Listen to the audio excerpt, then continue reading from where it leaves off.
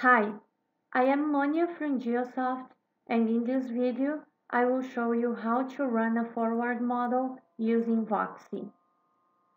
With VOXI, you can start your model with a voxel representing the subsurface structures of the area where you are working.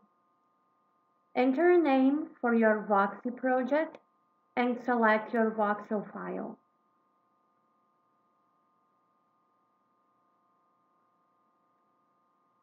As soon as the VOXI project is created, you can add your data clicking on Yes.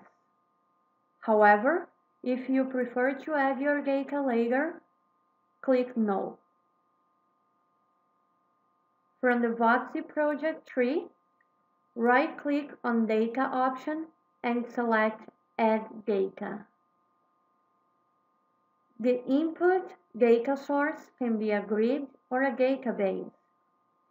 In this example, I will use a database by selecting the database option and making sure all channels are corrected fields.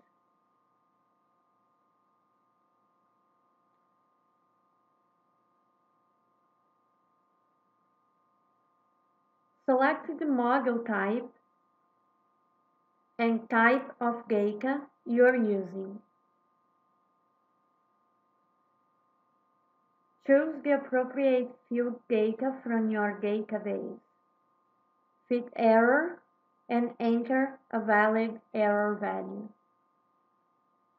The background removal window will open to allow you to remove the background of your database. At any time, you can modify your input data by right-clicking on any option and selecting Modify.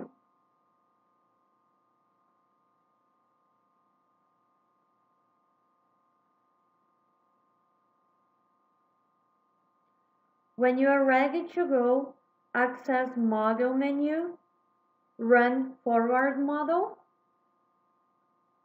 or click the Run Inversion tool, Run Forward Model option. The job process will start to run.